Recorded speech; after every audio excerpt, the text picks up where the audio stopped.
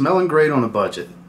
Who doesn't enjoy that? That's definitely my forte. It's how my fragrance journey really took off and how I started to build my collection.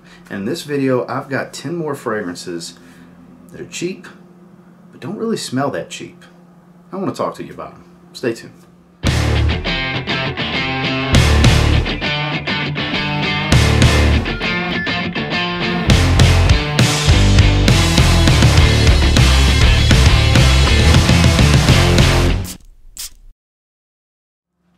So before we jump into this too far, since I got this camcorder, it did come bundled with this Vivitar microphone that's been given a lot of uh, audio feedback that kind of is kind of clippy in the background and a lot of you have let me know.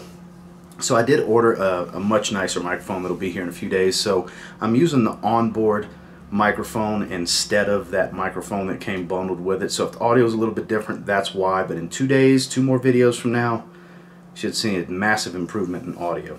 So let's get into the video. So starting with this first one, it's been popping up at rack stores. I had more and more people tell me they've been finding it for $20.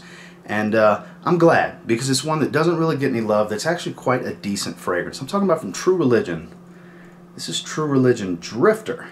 This is very fruity, sweet, not mold breaking or anything like that, but definitely a very pleasant, cheap fragrance. Used to not be so cheap during True Religion's heyday. I mean, True Religion's still around, True Religion jeans and all that. Uh, but they pop up at rack stores more. Marshall's, places like that, you can find the clothing, and now the fragrances are starting to pop up as well. And dare I say, Drifter's better than the original because it's got that fruity sweetness up top. It's, uh, I forgot what I would compare it to. It's been a little while since I smelled trying to remember. I was having a conversation with somebody the other day about it. There's, it's similar to a certain fragrance. I just can't remember which one. Performance isn't anything spectacular. About a five-hour fragrance, five to six hours. Right in that average range, but they're popping up for 20 bucks. It doesn't smell like everything else that's going to be in your collection. Absolutely worth checking out. Doesn't smell overly synthetic. Uh, not a you know a natural fragrance by any means, for, but for a designer, especially one that you could pick up for twenty dollars at a rack store, Actually doesn't smell like a $20 fragrance. One that you should check out if you come across it because it's not your typical blue fragrance, typical freshy, or anything like that. Check it out if you come across it. It's True Religion Drifter. This next fragrance was kind of the star of the show in my two different smell and rate videos that I did one with Curly Scents and Stay Fresh Productions, which I'll put right here, and then the other one I'll card afterwards, which was with Grace, Justin's girlfriend, and Anthony, Andrea's boyfriend from those same two channels. This popped up in both. All four of them loved this fragrance and gave it glaring ratings. I'm talking about First Instinct Blue from Abercrombie and Fitch. Now, performance, nothing special. That's definitely the weakness of this fragrance.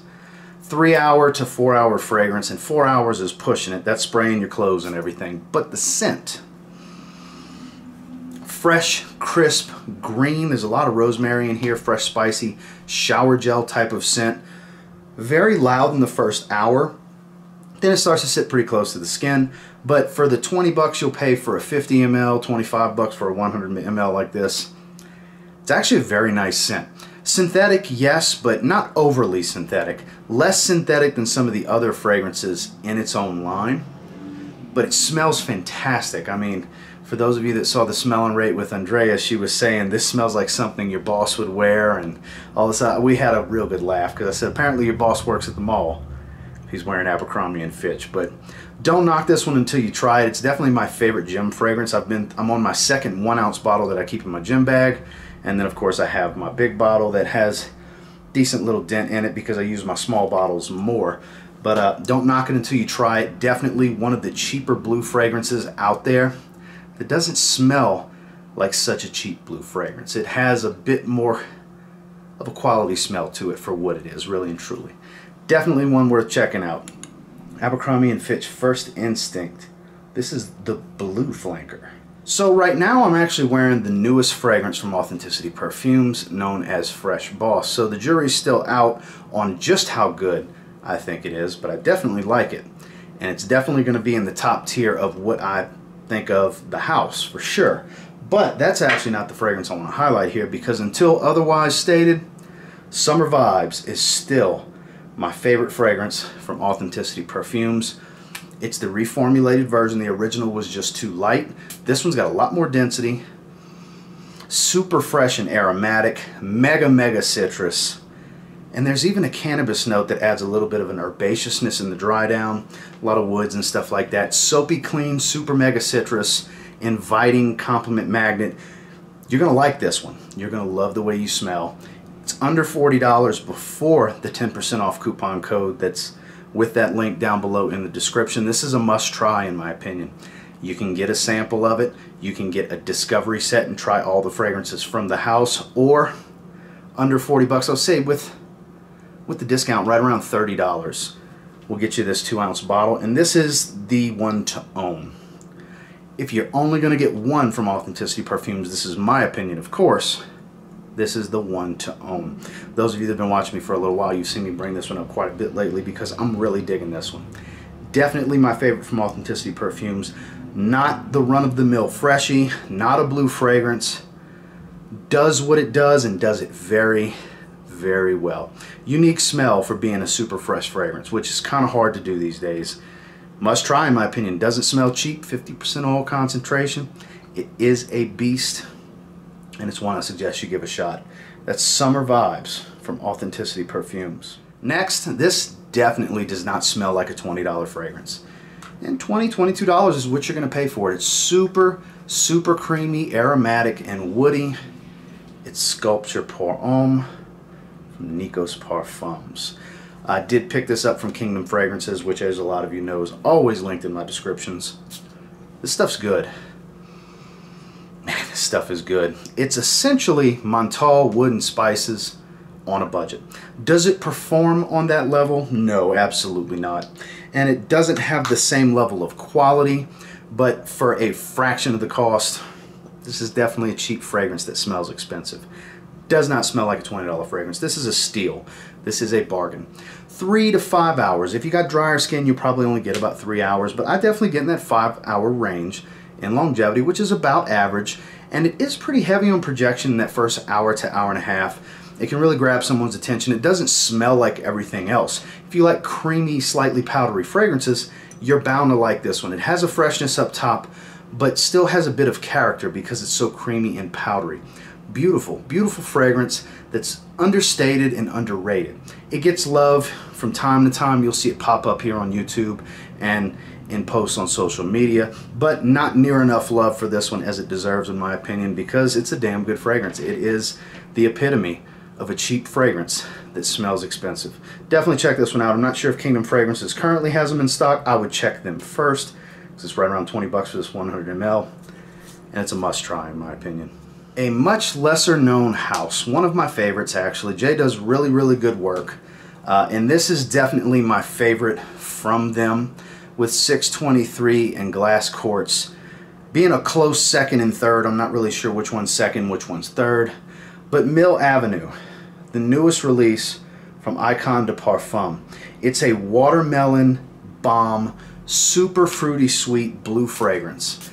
And you know I love my blue fragrances man, it is, look, it doesn't smell like all the other blue fragrances. And like I said, if you like a watermelon note, and not a super synthetic one either, definitely decent quality on the oils here that Jay used. And for taking a stock bottle and kind of making it your own, Jay's the king of that with the print of the Icon Eye logo, Mill Avenue printed on the back so you can see it through the bottle going with the copper color instead of the standard gold, silver, or black. So, like I said, that's adding your own little flair to a stock setup. So I like that about, about Jay. Jay does really good work. I'll have a link below if you want to check out Icon de Parfum. This is a must, another one that's a must try. They offer discovery sets so you can try everything from the house. I will warn you, you're gonna like this. You're gonna like 623. You're gonna like glass quartz. It's hard to decide a favorite. This one edges out the others with, I'm not really sure who's number two with glass quartz and 623. Really good stuff from a lesser known, pretty much unknown house that de deserves some attention from you guys. You're not going to spend a lot of money. They're originals and they perform and most importantly, they don't smell cheap, but they are cheap. Another one that's a cheap fragrance that smells expensive. It's worth checking out. That's Mill Avenue from Icon de Parfum. I gotta say, this one wowed me from the very first spray and continues to every time I spray it, every time I've worn it so far. I'm talking about Diesel. Only the Brave Tattoo. Fruity, super sweet, reminds me of the 1 million style of sweetness, but doesn't quite smell like 1 million. There's some tobacco that's kind of mild and in the background of the dry down. Doesn't really come to the forefront. But man, it's warm, it's a little spicy, and it's very sweet and fruity, but not overly sweet, not overly synthetic either, like you may think it is, because the original Only the Brave definitely leans, definitely leans more to the synthetic side, whereas this one's actually, I think, a little bit better than that one, and I, I've I've really dug all three of the Only the Brave fragrances that I've tried, and I think this is edged out as my favorite, and that's why I wanted to feature this one specifically. And it's a beast. It performs very, very well. This is an eight-hour fragrance, which once you clip into that eight-hour longevity territory for me, that's getting into the beast mode. That's the beginning of the beast mode territory, in my opinion, for the way I rank and rate things. And then it's quite loud as well. Not room filling, but definitely beyond arm's length for about two hours, which that also classifies into those early stages of beast mode. And this is in the low 30s. We'll get you a 75 ml, full presentation, discounters online. One that nobody talks about. I don't really see anybody talking about this one much. Um, I did get my hands on a tester, which I want to say, if I can get it to focus, I want to say I spent like $32 on, yeah, there we go. So it's got the little tester, but it isn't a full, you know, a box presentation that uh, does not look like a tester box. Uh, I have it over there. Otherwise, I'd show it to you guys. But one that's worth checking out. Definitely another one that fits this video style and topic very well because it's definitely a cheaper fragrance. It smells much more expensive than what you're going to pay for it. Not overly sweet to where I would say it's too youthful and playful. I would think any age can wear this one as long as you like sweet fragrances and you're definitely going to get the performance you would expect. Performance above the price point for sure. That's Diesel, only the Brave. This is the Tattoo Flanker. So Meremeta Fragrances only has two fragrances out, but both of them are really good. Moha, and then there's this beautiful lemon bar scent of LeLaVa. This is a must try in my opinion. I hate when it doesn't focus, but LeLaVa, very simplistic note breakdown. Lemon, vanilla, Oh, gotta spray a bunch. Lemon, lavender, and vanilla. Lemon, leather, and vanilla. I'm sorry, I don't know why I said lavender. Lemon, leather, and vanilla. LeLaVa. It smells like lemon bars. I've said it from the start. It's a beast. It's one that you can get in, you know, decent sized decants like this. You can get 50 ml bottles. They perform, they're unique, and the quality is definitely there.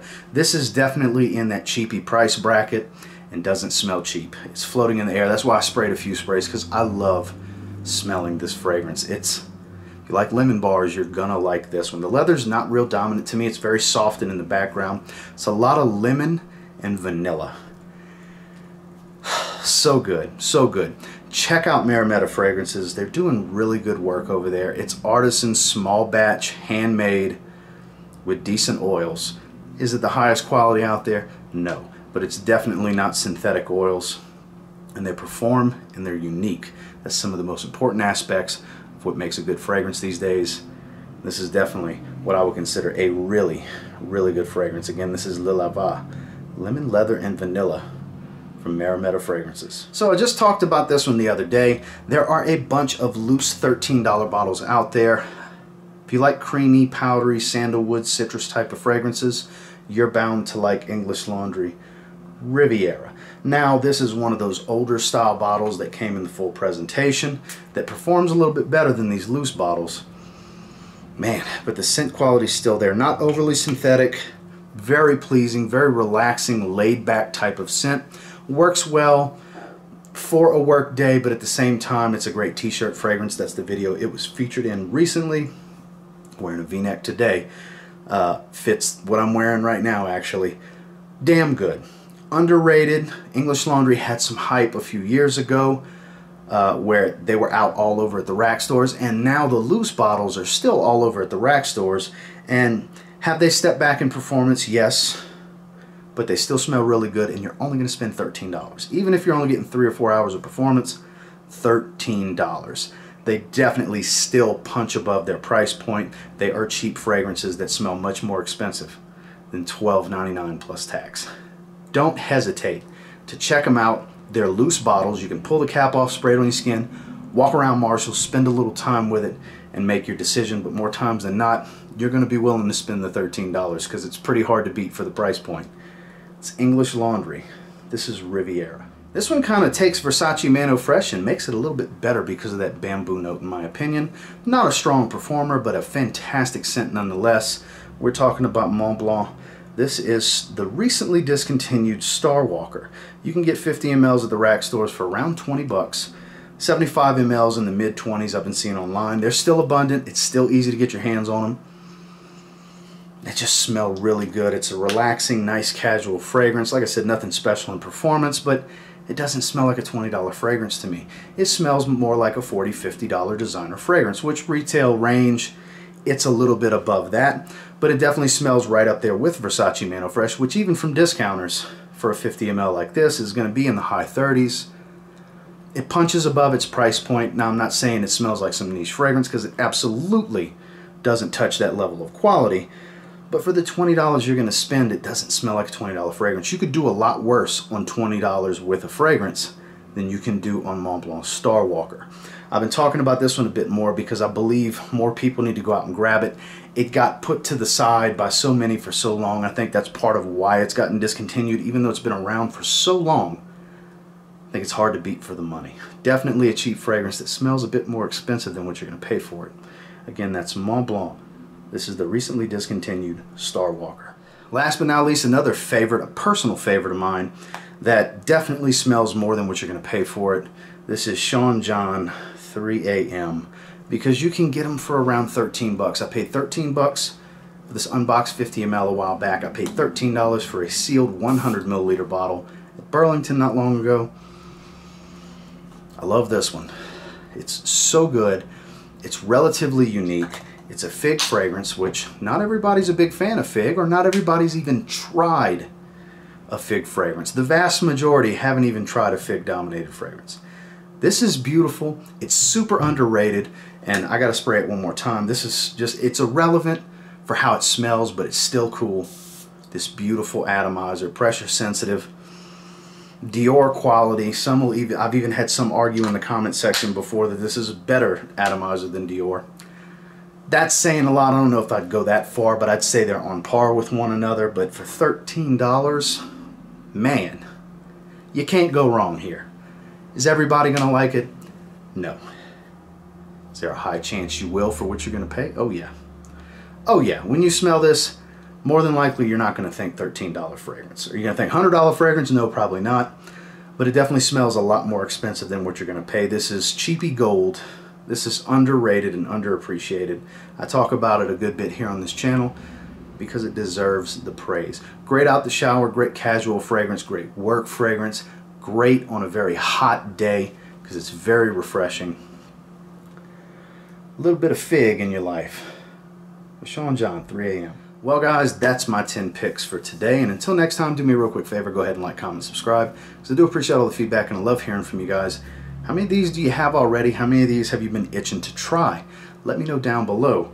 Have any of these piqued your interest? A lot of these are popping up at the rack stores. Some of these you have to order strictly online, but they are all cheap fragrances that smell much more expensive than what you're going to pay for them. Until next time, I will say if you get your hands on any of these, you give them a spray now, pretty confident you'll thank me later. Have a good one, guys.